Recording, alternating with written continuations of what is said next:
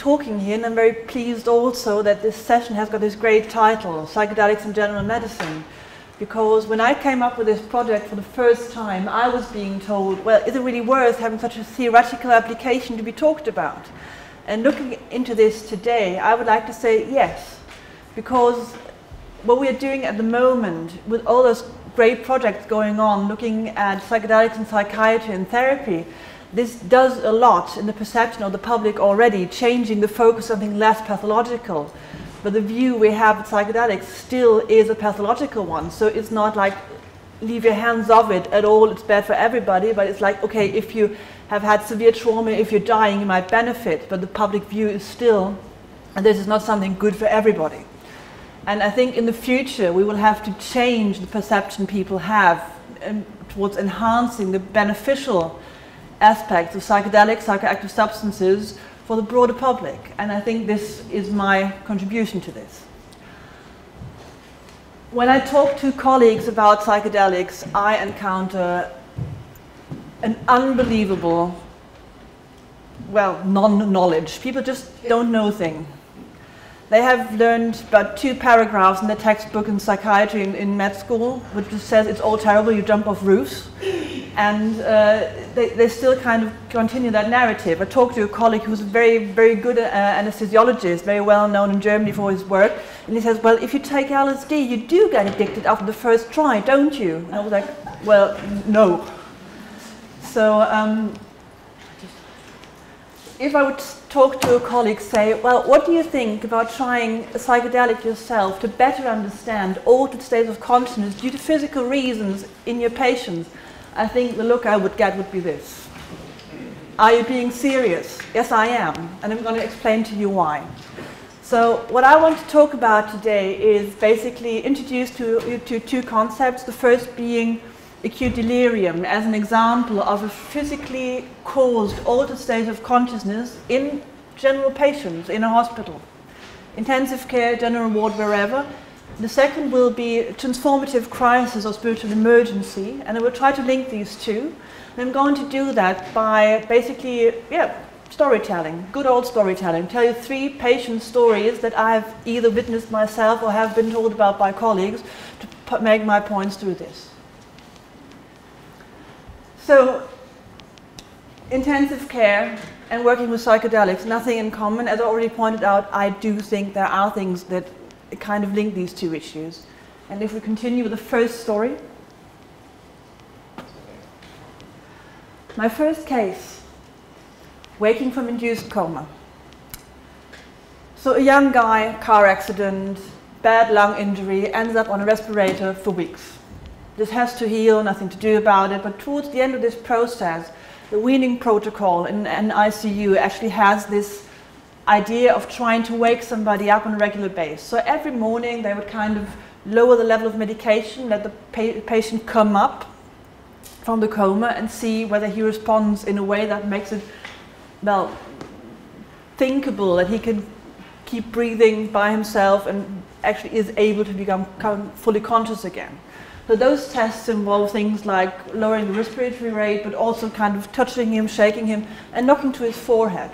So this was something that was being done for several days in a row by the main carer of that person, who was at that time a very pretty uh, young nurse with very pink hair. So when this guy actually woke up after two, three weeks, he was being asked, do you remember anything from your coma? And what he said was, well, not much, but every morning a squirrel came and threw nuts at my forehead, a pink squirrel. so he basically turned the young nurse with the pink hair in his like imagination or in his distorted um, consciousness into a pink squirrel throwing nuts at him.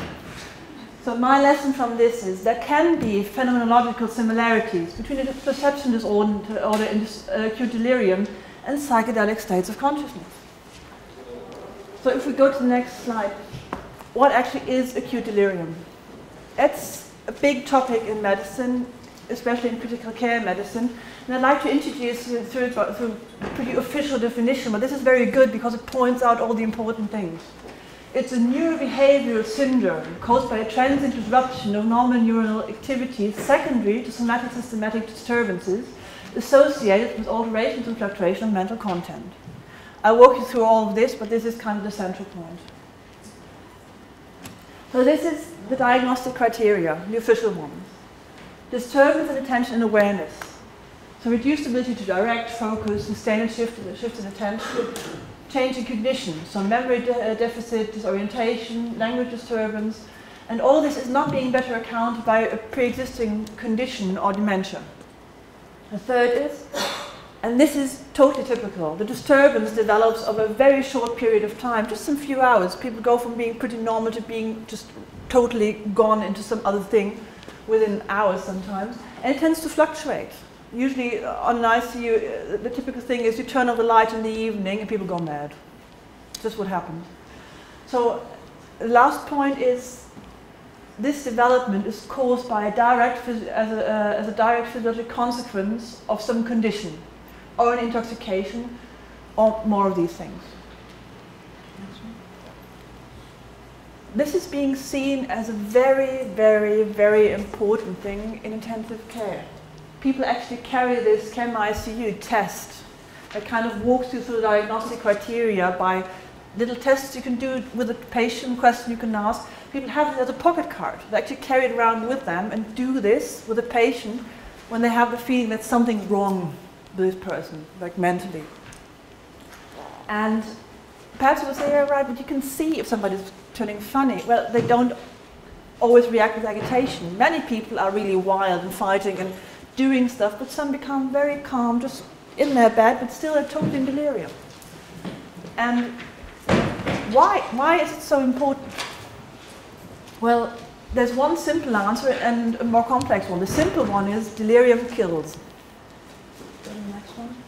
This is a very, very interesting graph. Um, we're back in Brazil actually. This is a study that was done uh, in Sao Paulo on a large intensive care ward. Um, and what they did was, with every patient on a surgical ICU that came in for a year, so about 900 patients, they did two scores. The CAM ICU I showed to you beforehand, and the so-called Apache 2 score.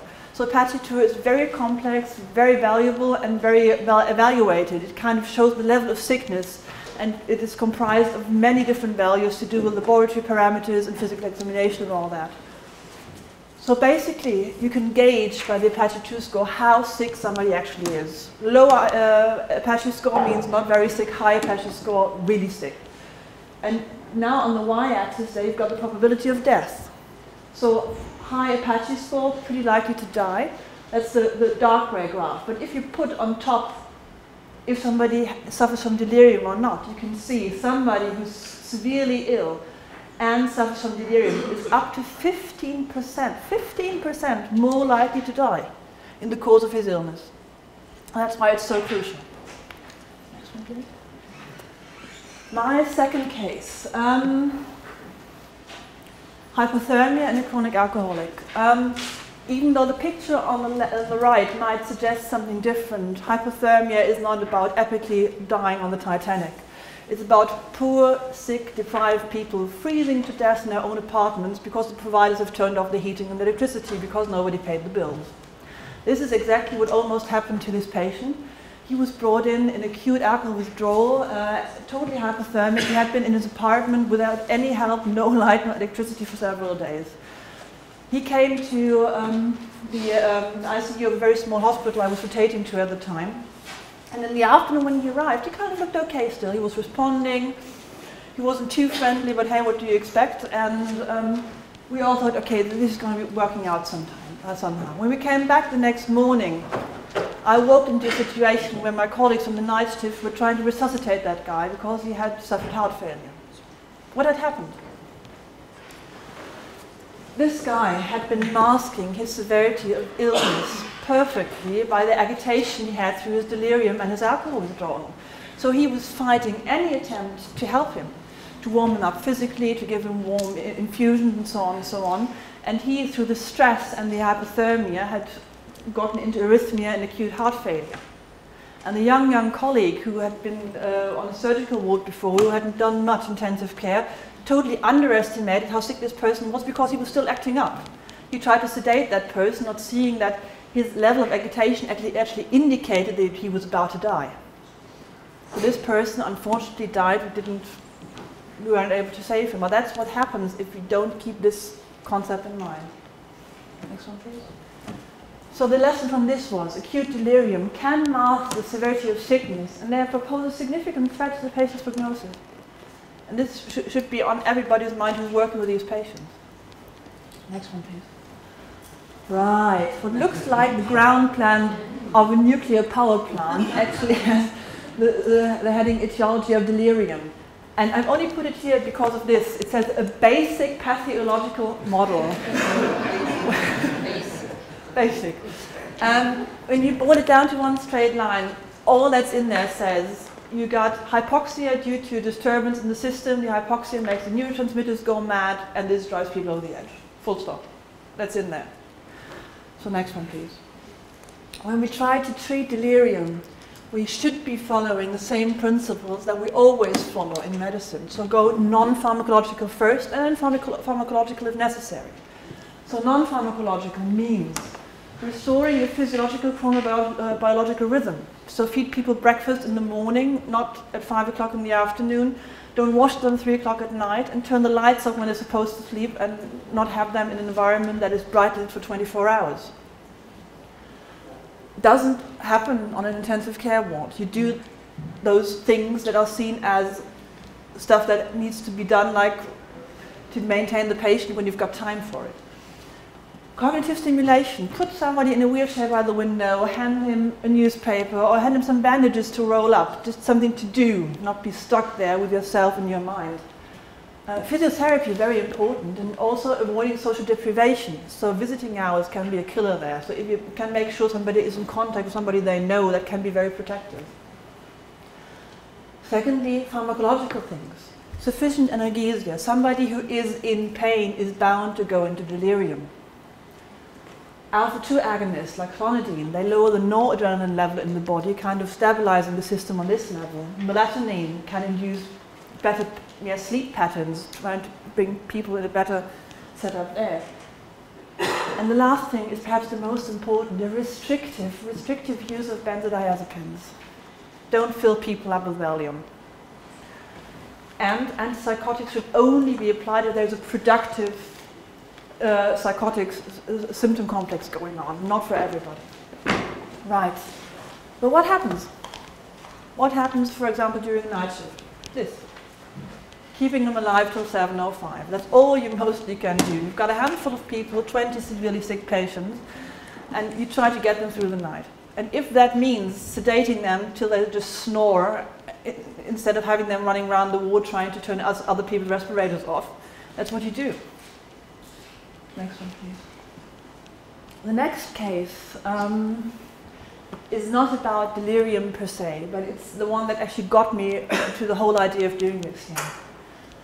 This young lady, 24, 25, had a very unlucky uh, comorbidity of schizophrenia and very strong epilepsy.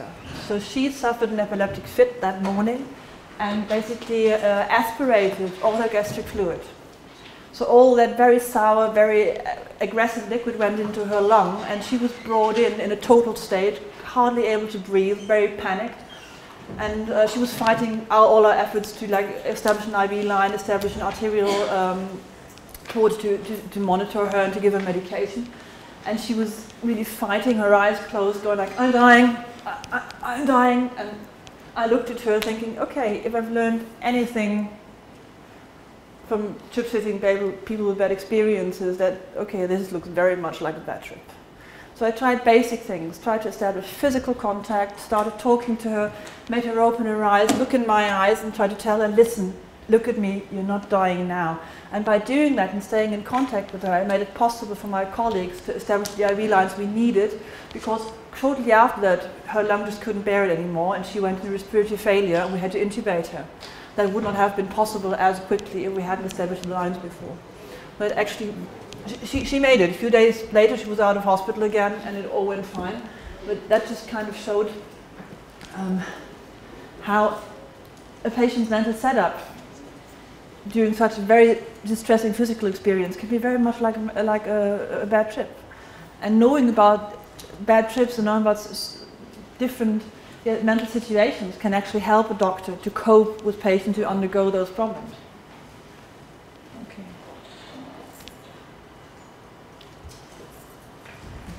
My big question in this is, so, so wh why does this happen? Well, colleagues will probably turn around to me and say, well, we told you it's neurotransmitters, it's unbalances. Well, that's, that's how? I want to know why.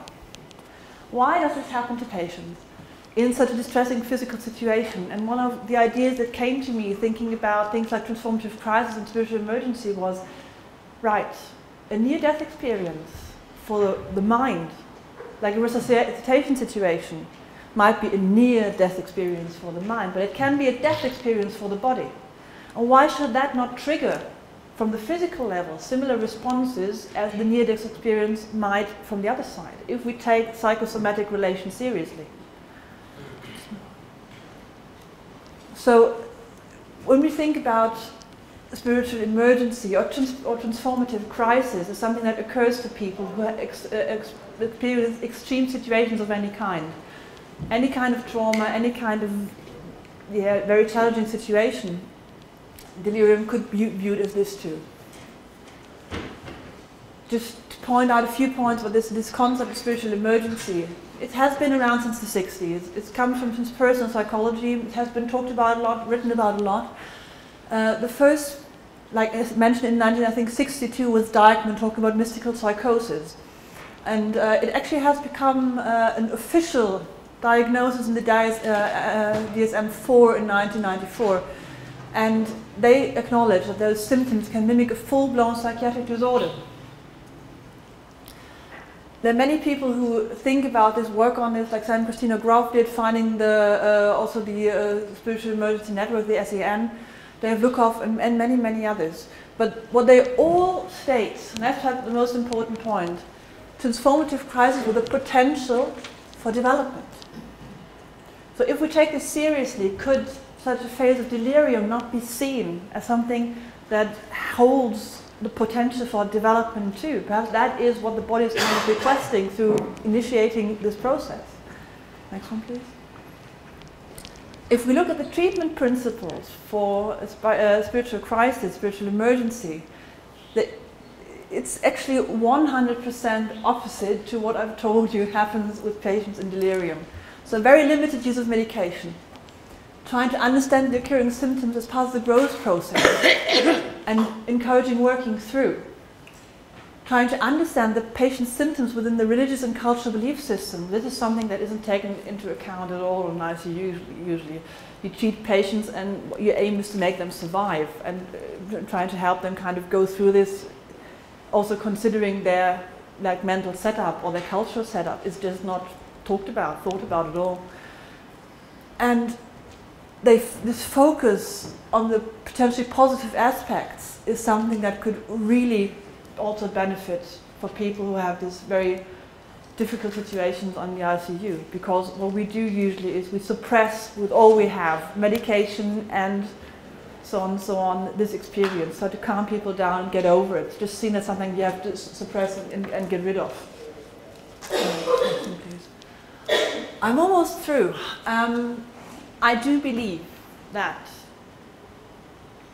if critical care staff, doctors, nurses, therapists, uh, spiritual caretakers would have own experiences, own set of consciousness, experience what it means not to fully control your mental setup at a, at a given point in time, they would have more understanding and perhaps more compassion also with people going through this kind of state.